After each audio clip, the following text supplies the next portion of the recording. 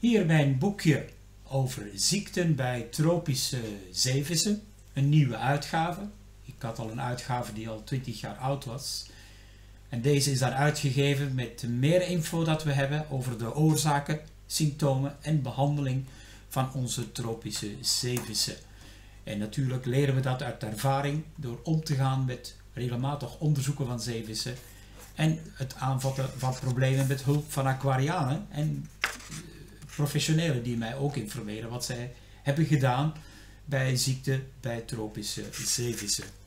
En wat natuurlijk belangrijk is in zo'n hoofdstuk is dat we leren welke factoren een rol spelen.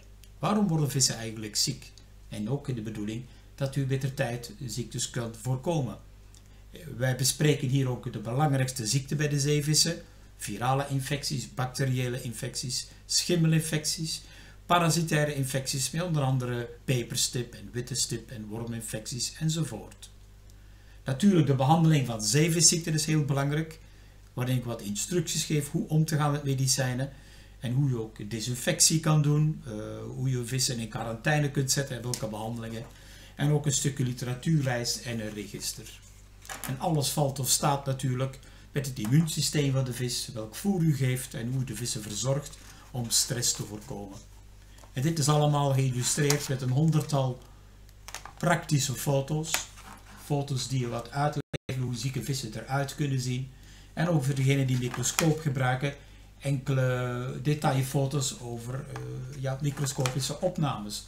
Hier van wormpjes, of hier van uh, tetrahymena of uronima infectie die zweren veroorzaakt.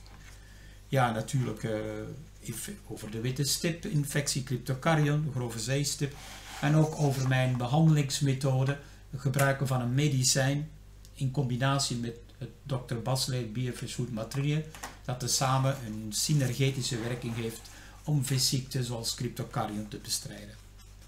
Allemaal uitgelegd in dit kleine praktische boekje dat te verkrijgen is via basleer.com, onze website. En dat kunnen wij u dan ook direct versturen. Ik dank u voor uw aandacht.